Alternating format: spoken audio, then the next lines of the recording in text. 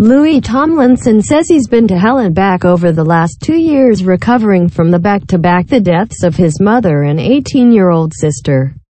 The British singer, who rose to stardom in One Direction, opened up about the dark side I've gone through and hitting rock bottom in an interview with The Guardian. His mother, Johannah Deakin, lost her battle to leukemia in December 2016 and his younger sister, Felicite Tomlinson, died of an accidental overdose in March. That whole dark side I've gone through, it sounds stupid to say. But it gives me strength everywhere else in my life because that's the darkest shish asterisk asterisk that I'm going to have to deal with, said Tomlinson, 27, so it makes everything else not feel easier and not less important, but in the grand scheme of things, you see things for what they are. I suppose. He spoke about what he learned about himself while navigating with his heartbreak. I keep going back to it. But I don't know if it's a combination of where I grew up and my mom's influence but I just have this luxury of being able to see the glass half full no matter what, he said. As the oldest of his mother's seven children, there's no time for me to be sat feeling sorry for myself.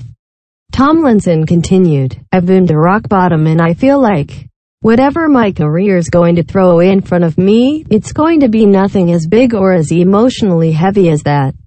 So, weirdly, I've turned something that's really dark into something that empowers me, makes me stronger.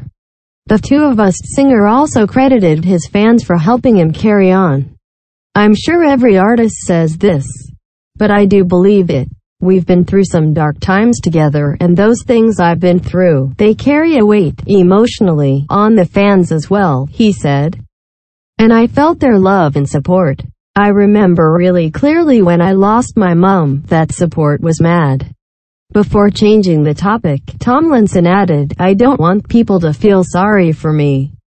That's not how I feel for myself. Somehow it fuels me. Earlier this month, an inquest into Felicite's death was heard and it was determined that the teen died of an accidental drug overdose.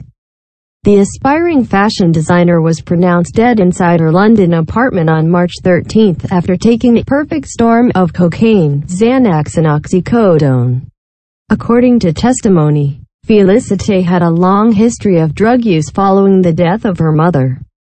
During the inquest, which Tomlinson did not attend, it was revealed that the star made multiple attempts to help his sister overcome her drug use, including accompanying her to doctor's appointments. She had also been to rehab. Tomlinson's mother was diagnosed with an aggressive form of leukemia in early 2016 and died within the year.